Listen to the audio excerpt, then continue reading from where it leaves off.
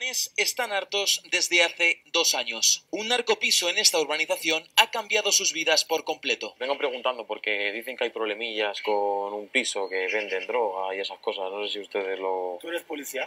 No, soy periodista. Yo no sé si vende droga o no, pero como veo, viene uno cada minuto. ¿Quién vive dentro?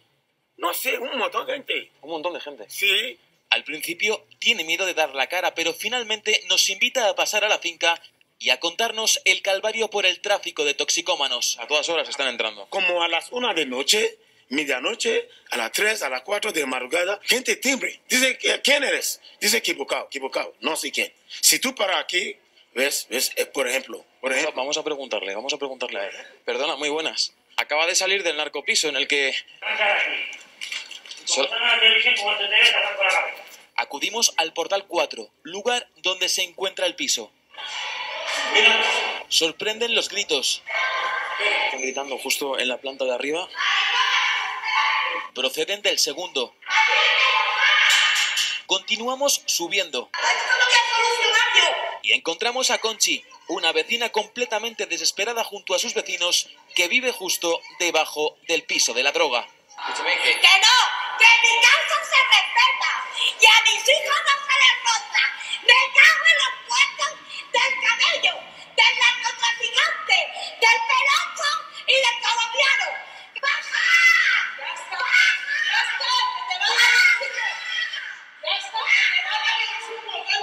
Una vecina acude a tranquilizarla. la gente de arriba. Que a esta mujer la tienen loca porque todos los días son vomitonas, todos los días son tal, se ponen a consumir en la escalera. Ellos vienen a consumir porque son adictos. La culpa la tienen quien tenga el piso. Habrá que solucionar algo, que aquí hay niños. El presidente se encarga de llamar al IBIMA, de, hacer de mandarle todo. Lo saben, la policía lo sabe.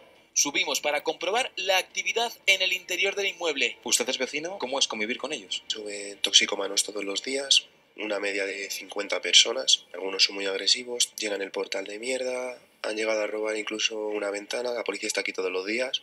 ¿Has llegado a ver aquí? Aquí sangre, peleas. Se viene fumando. Oigo. Madre mía, ¿de qué llevas, amigo? Ven, aquí.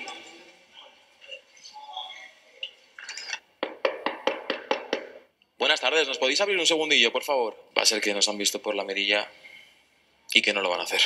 Intentamos ahora hablar con Conchi. Cuando ocurre esto, A ver si no Ustedes-.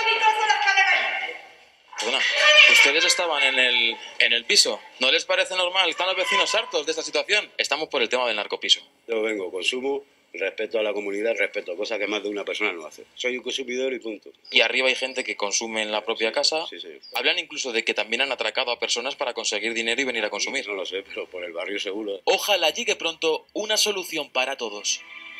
¡Ay,